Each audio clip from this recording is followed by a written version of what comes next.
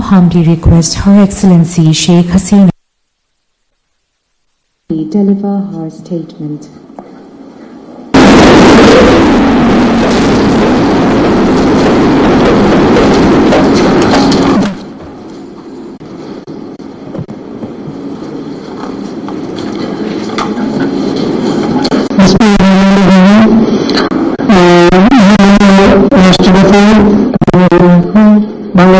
ফ্রান্সের প্রতিনিধি দলের সম্মানিত সদস্যবৃন্দ, সম্মানিত উপস্থিত, উপস্থিতি বিভিন্ন মিডিয়া প্রতিনিধিবৃন্দ। আসসালামু আলাইকুম, শুভ সকাল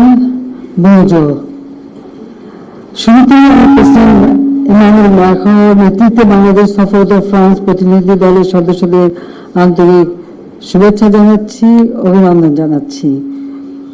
আজ বাংলাদেশ ও ফ্রান্সের মধ্যকার পাঁচ দশকের অধিক সময় চলমান দ্বিপাক্ষিক সম্পর্কের একটি ঐতিহাসিক দিন।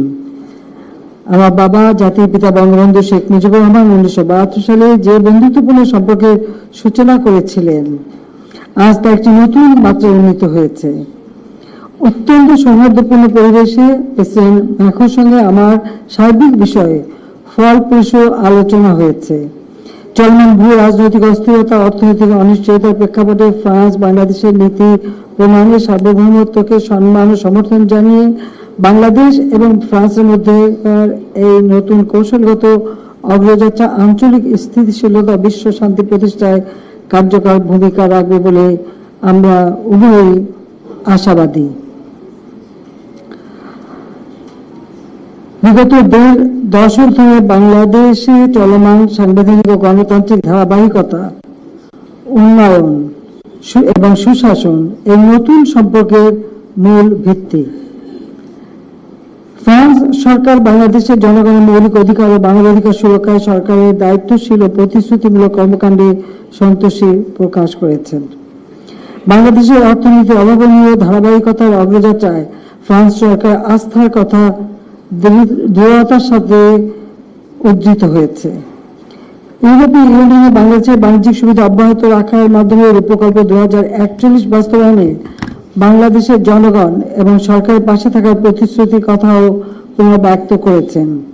এজন্য আমি রাষ্ট্রপতি ম্যাক্রো নেতৃত্বে ফ্রান্স সরকার ও ফ্রান্সের জনগণের প্রতি বাংলাদেশের সর্বস্তরের জনগণের পক্ষ থেকে আন্তরিক ধন্যবাদ জানাচ্ছি। মহামান্য রাষ্ট্রপতি ম্যাক্রোর এই সফরে দুই দেশের দ্বিপাক্ষিক সম্পর্ককে এগিয়ে নিয়ে যাওয়ার লক্ষ্যে বিস্তারিত আলোচনা হয়েছে। এই প্রেক্ষিতে আমরা কিছু সমঝোতায় পৌঁছাতে সক্ষম হয়েছি। বাংলাদেশের বিশ্বস্ত উন্নয়ন সহযোগী হিসেবে ফ্রান্স আমাদের অবকাঠামোগত উন্নয়নে তার সহযোগিতা অব্যাহত রাখার বিষয়ে আমাদের নিশ্চিত করেছেন। পাশাপাশি বাংলাদেশের কৌশলগত সুরক্ষা অবকাঠামো বিনির্মাণে উন্নত বিশ্বাসায়িত কারিগরি সহায়তা প্রদানের আগ্রহ প্রকাশ করেছেন। এশীয় প্রশান্ত মহাসাগরীয় অঞ্চলে ভূ রাজনৈতিক স্থিতিশীলতা নিশ্চিত করতে বাংলাদেশ ও ফ্রান্সের নেতৃস্থানীয় দায়িত্বশীল ভূমিকা বাংলাদেশে ও ফ্রান্সে নেতৃস্থানীয় ও দায়িত্বশীল ভূমিকা পালন করবে। জলবায়ু পরিবর্তন নেতিবাচক প্রভাব মোকাবেলায় ফ্রান্সের অগ্রণী ভূমিকাকে আমরা স্বাগত জানাই এবং এই লক্ষ্যে প্রেসিডেন্ট ম্যাক্রোর নেতৃত্বে একটি টেকসই তহবিল গঠনে ফ্রান্সের আহ্বানকে আমরা সাধুবাদ জানিয়েছি। এছাড়াও ফ্রান্সের সঙ্গে শিক্ষা, সংস্কৃতি, ভাষা বিনিময়ের বিষয়ে ফলপ্রসূ আলোচনা হয়েছে। এই সফরের সামগ্রিক বিষয়ে একটি যৌথ বিবৃতি খুব- খুব শীঘ্র প্রকাশ করা হবে এবং দুই দেশের সরকারের দায়িত্বশীল পর্যায়ে হতে আপনাদের আরও বিস্তারিত অবহিত করা হবে। আমি পরিশেষে ফ্রান্স সরকার, ফরাসি জনগণের প্রতি আমার শুভেচ্ছা জানাই এবং দুই দেশের বন্ধুত্বপূর্ণ সম্পর্ককে উত্তরোত্তর সমৃদ্ধি কামনা করছি। কারণ আমাদের মহান মুক্তিযুদ্ধের সঙ্গে, সময় সে উনিশশো একাত্তর সালে ফ্রান্সের যে সহযোগিতা, আন- আন্দ্রে মাল্লোর কথা বাংলাদেশের প্রতিটি মানুষই জানেন যে তিনি কীভাবে আমাদেরকে সহযোগিতা করেছিলেন। যে সেটা সবসময় আমরা শ্রদ্ধার সাথে স্মরণ করি। যে আমাদের দুই দেশের বন্ধুত্ব আরও অটুট হোক সেটাই আমাদের কামনা। এবং আমি নিজে ব্যক্তিগতভাবে বলতে পারি সবসময় আমি ফ্রান্সের সহযোগিতা পেয়েছি। কাজে আপনাদের সবাইকে আরও ফ্রান্সের সকল ডেলিগেশন সবাইকে আমার আন্তরিক ধন্যবাদ জানাই। ফ্রান্স বাংলাদেশ ফ্রান্স মৈত্রী দীর্ঘজীবী হোক। জয় বাংলা জয় বঙ্গবন্ধু বাংলাদেশ চিরজীবী হোক। Thank you, Her Excellency, Honorable Prime Minister. May I have the honor to request His Excellency, Honorable President of the Republic of France to kindly deliver his statement. Merci beaucoup. Merci Madame la Première ministre. Je vais vous faire donner quand même. Hmm?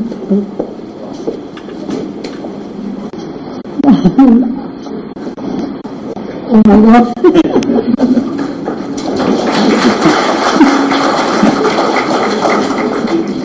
You're so kind. No, no. My pleasure. I'm just collecting. I do prefer you listen what I say. Eh, Madame la Première ministre, merci beaucoup pour vos mots et votre accueil. Je souhaite vous remercier pour euh, cette invitation à effectuer en effet une visite au Bangladesh et pour votre accueil chaleureux. Et vous avez terminé votre propos en citant André Malraux. Il est sans doute ce- celui qui, euh, à l'époque contemporaine, a scellé cette relation autour de la guerre de libération de 1971 par euh, son engagement, ses mots, par sa volonté d'accompagner ce mouvement populaire que votre père a porté et euh, a su bâtir. Il a, je crois, scellé une amitié indéfectible entre nos deux peuples autour de l'indépendance, de l'attachement euh, à nos valeurs et de l'amour de la liberté. Je suis très honoré, 33 ans après la dernière visite d'un président français, celle de François Mitterrand, d'être à vos côtés aujourd'hui.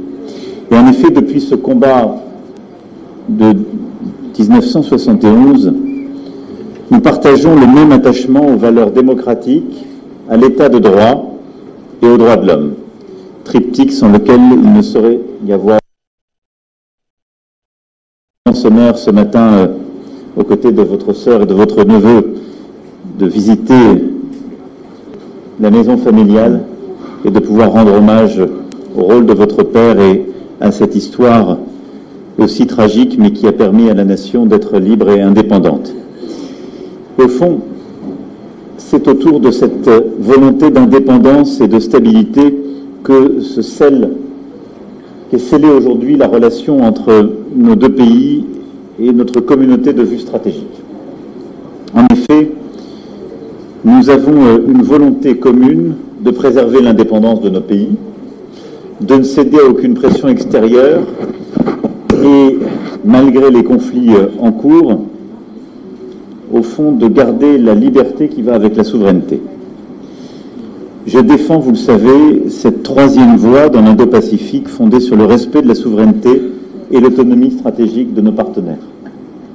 C'est, je crois, cette voie aussi qui vous anime et cette volonté de préserver l'Indo-Pacifique et plus particulièrement la région de l'océan Indien de toutes les tensions géopolitiques.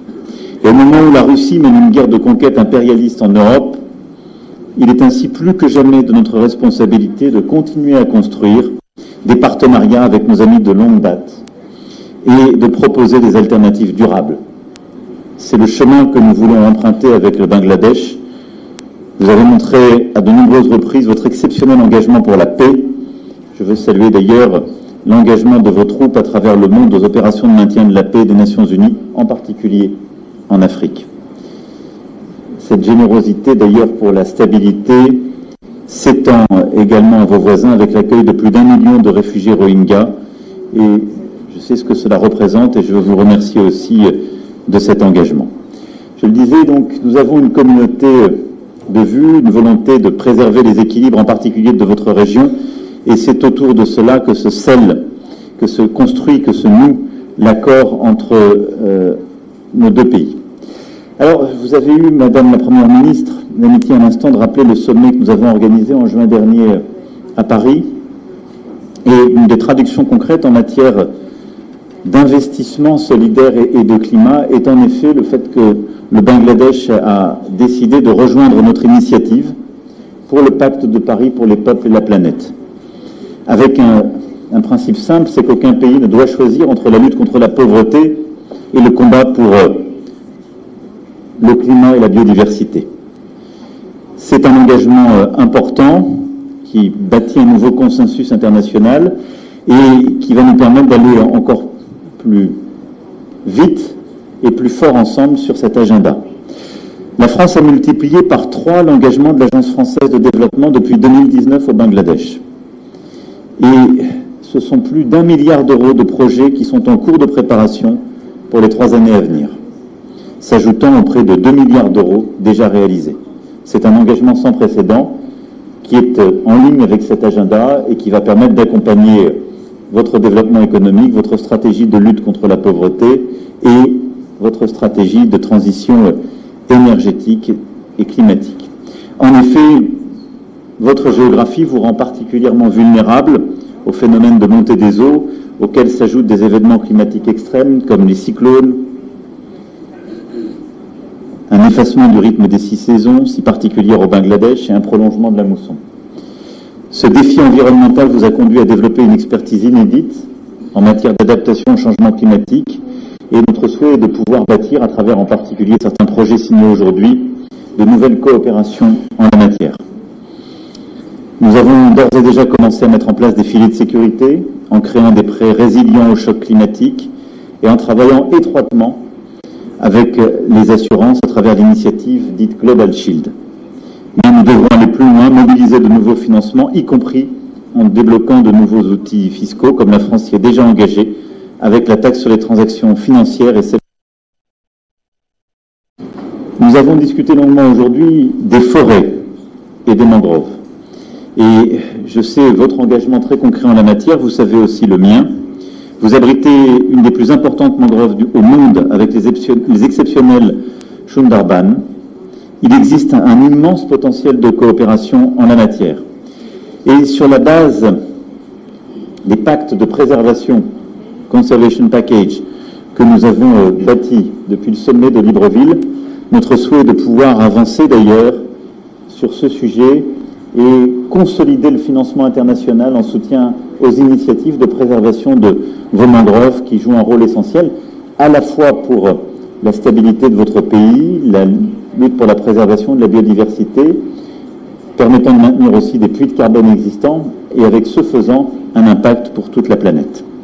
Vous le voyez donc, en matière de lutte contre la pauvreté et de climat, nous avons une déclinaison très concrète de l'agenda de Paris de juin dernier et de ce pacte de Paris pour euh, les peuples et la planète.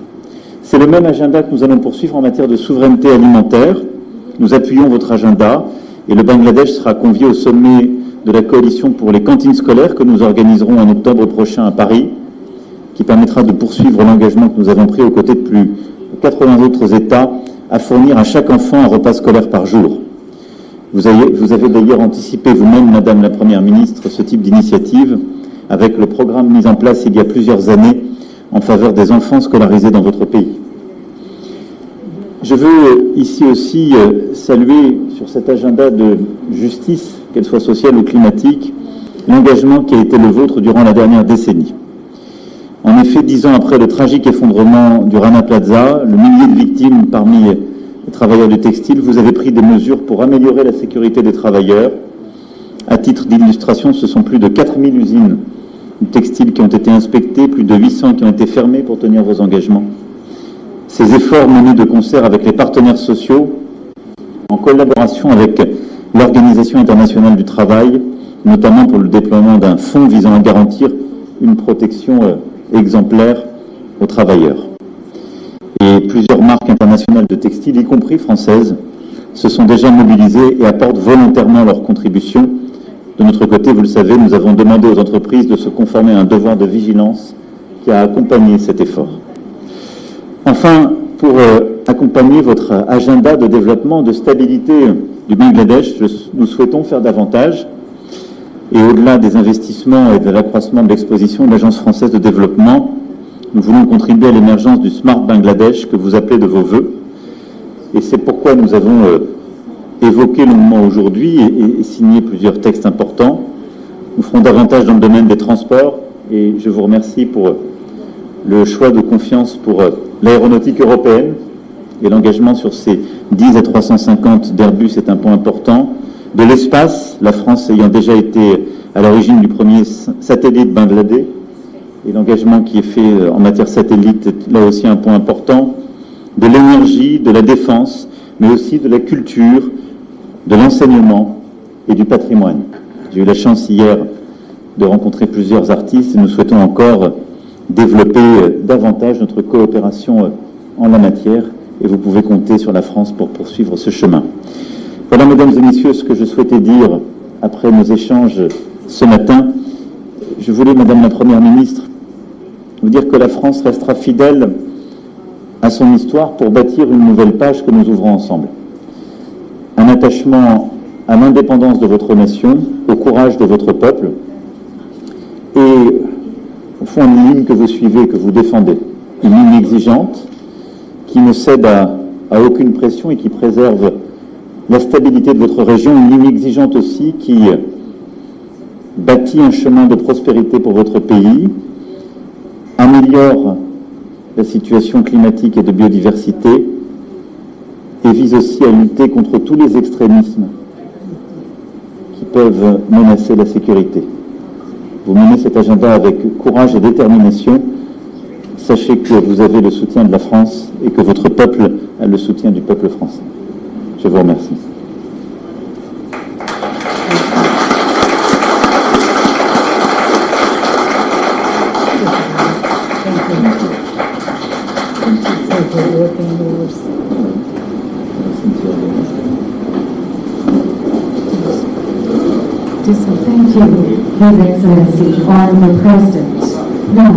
May I humbly request Her Excellency Sheikh Hasina, Honorable Prime Minister of Bangladesh, to kindly hand over the gifts to His Excellency Manuel Macron, Honorable President of the Republic of France. Uh, Diary translated into French language. Thank you so much.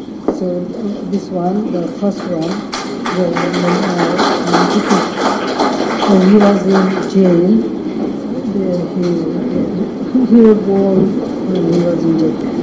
And this is China. He visited China in 52. And so he is so the first one.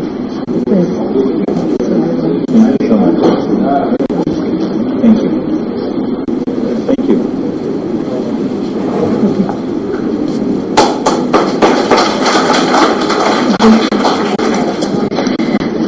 With this, we end our program here. Thank you all.